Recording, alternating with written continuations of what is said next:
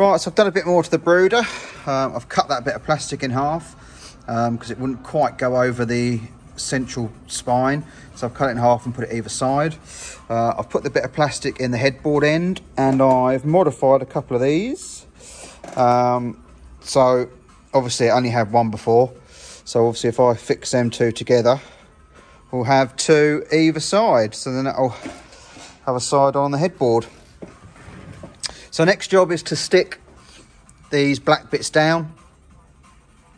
Um, obviously, as I say, stick these side panels together and then begin um, boarding it out. I have got to order the channel to go on the sides. And then once we've got that, we'll um, paint it all and then get the decking down. I've just bought lolly sticks. Um, I bought 50 of them. I laid them all out this morning and it covers the top bit here. So I'm probably going to need 150 of them. So I need to order some more. And also the um, Tamiya Kingpin. So that's where we are at the moment. I will come back once I've got a bit further along. So a quick update while I was having my lunch. I just thought I'd have a little play with this. Um, I've trimmed off the old Bruder coupling. That needs a little bit of a file down yet. And then I've got a bit of plate. And I've bought one of these um, fifth wheel pins from eBay. So then I can put that in there, centralise where it needs to be. I've got loads of room to play. Uh, and then fix that down. And then we've got a hitch. And then once all that's done, and it actually works on the truck, I can um, start boarding out the bed.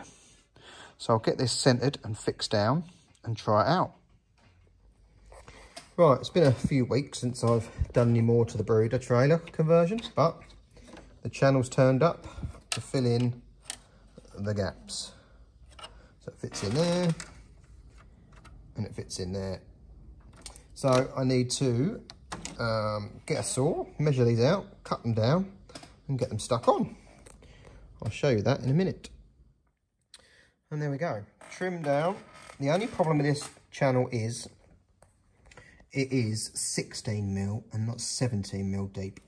Mm, I don't think it's hugely noticeable, but it is just noticeable. I couldn't seem to find 17 mil. But we'll try and feather the edges out. Um, and we'll obviously fill it and paint it. And hopefully it won't be that noticeable. But there we go. So we're getting there. That's this side done. Now the other side and the other side is done. Now, I'm thinking on how to secure it because obviously we've got the alley rails there. So I'm thinking maybe if I put one in there, a screw, like one of these um, Allen screws, and then every five mil, sorry, every 50 mil along, it will kind of look like it's supposed to be there and then obviously put a couple in this side as well. Um, and then that will obviously hold it there and then we can smooth it off with a little bit of filler and stuff as opposed to trying to glue it. I don't know how the glue would hold.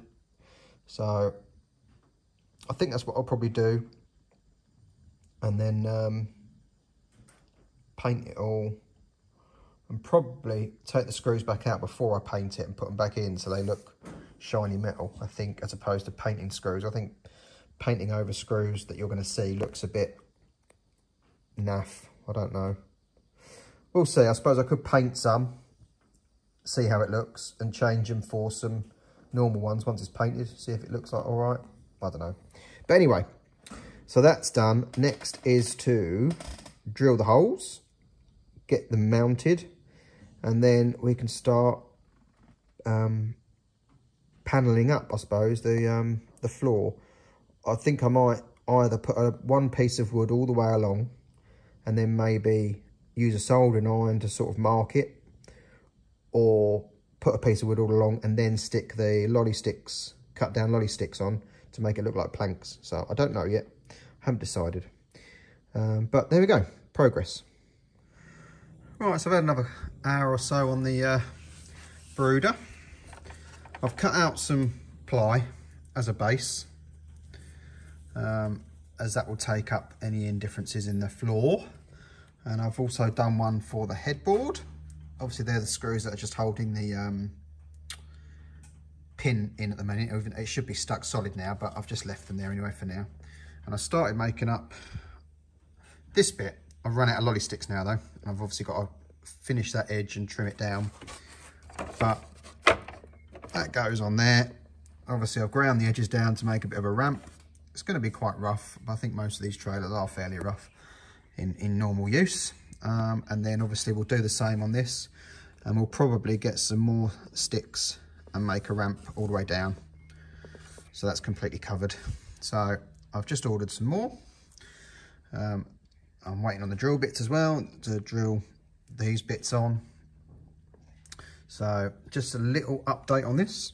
I've, I've ground that end edge down, but I need to do something else with that yet. I'm not quite sure how I'm going to finish that edge.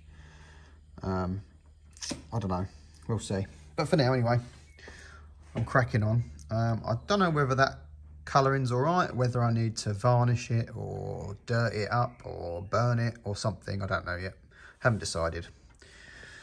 But at least I haven't I haven't fixed these down yet because obviously I want to paint the trailer once all this is together. So I don't want to paint the wood. So I can I thought if I put it on the board like that, I can crack on with the sticks and then obviously I can paint the trailer and then put this all down as one lump. So that's the plan. Anyway, next job. Right, so I've got a bit further forward on the Bruder. Um, I've found an oil patch on the floor down there and wiped a load of oil over it. In the video, in, through the phone, it looks real patchy and obvious, but actually in real life, it doesn't. So I don't know what that is. Um, I'll probably do a bit more yet. I've just dusted some black spray paint over as well to try and calm it down, both ends.